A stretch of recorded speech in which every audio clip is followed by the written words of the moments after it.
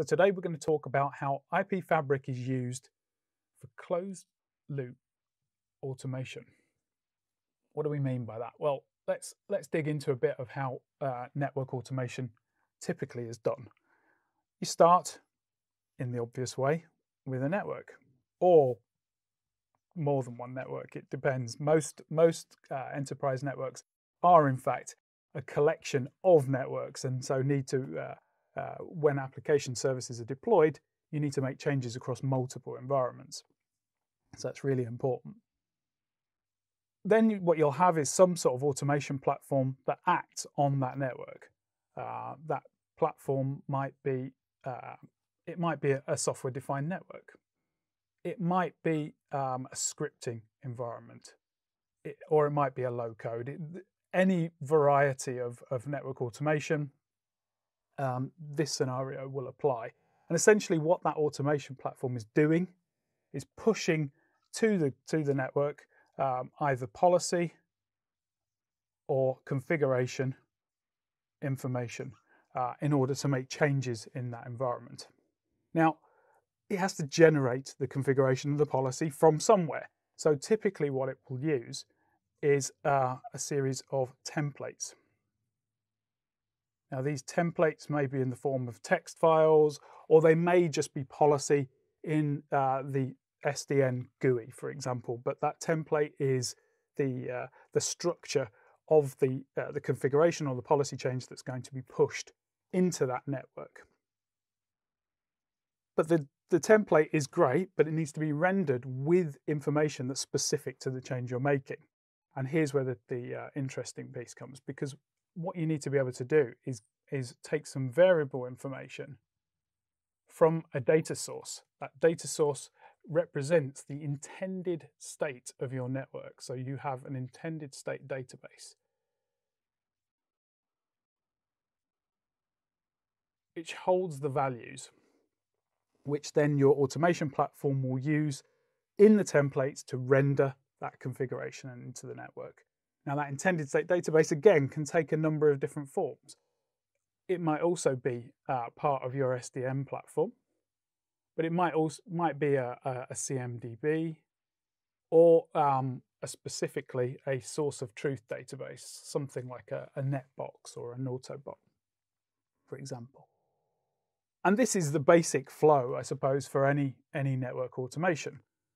You're taking that data, using rendering it into a template, and then deploying that into your network in order to deliver a service. But as you can see, we've got a big gap over this side, and this is where, where our closed loop comes in. Because what we need to be able to do is, well, let's write the challenges down. We have three main challenges, okay? So the first thing we have to consider is initial population of that intended state database. That needs to reflect the network um, at the point that it's created so that the automation is able to, uh, to generate configuration that makes sense. Because we all know that you're not going to be able to, to put the um, network automation into a greenfield network with there being no other network around it. There is no such thing. Every network is, is a brownfield these days. So that initial population piece is super important. Once you've done that, you then have to consider that there's actually going to be a number of places where you're going to make changes. So um, you might make changes in the actual intended state database here. Um, you might make a change in the automation process here. You might make changes in the template. Or if you're still um, doing some element of manual work, and especially with the troubleshooting space, you may end up making manual changes in the network themselves itself. And of course, all of those changes have to be um, validated and verified that they are indeed um, working as you expect them to. And so you can't go through and, and put those checks in, in one of those places, you have to cover it with all of them. So it's super important. And of course, as a result of those changes, things will um, be updated in the network itself. That network um, needs to be documented after the changes have been made.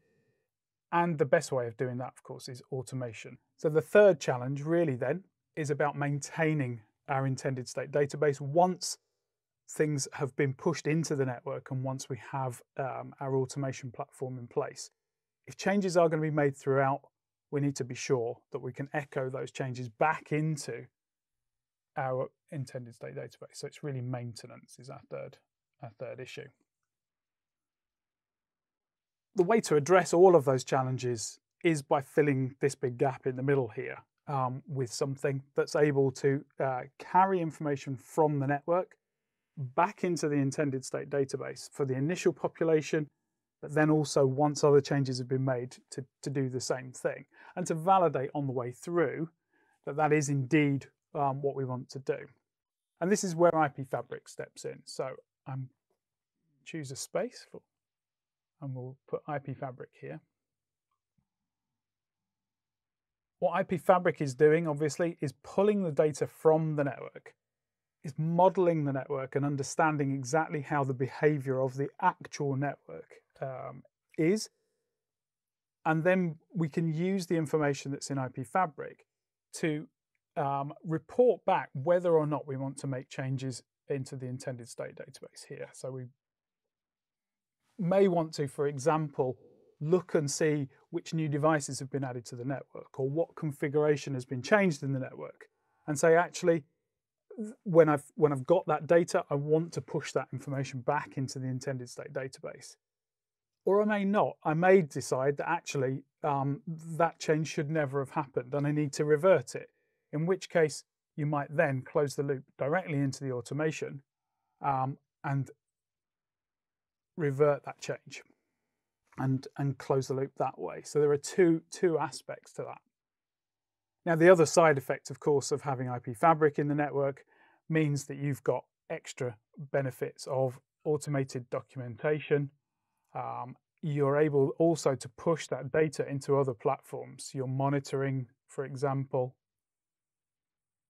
your CMDB, and so on. Um, and so that then gives you uh, that full closed loop uh, scenario. And so you can see IP Fabric here has formed a, an integral part of that closed loop automation um, that completes the picture uh, for your network operations.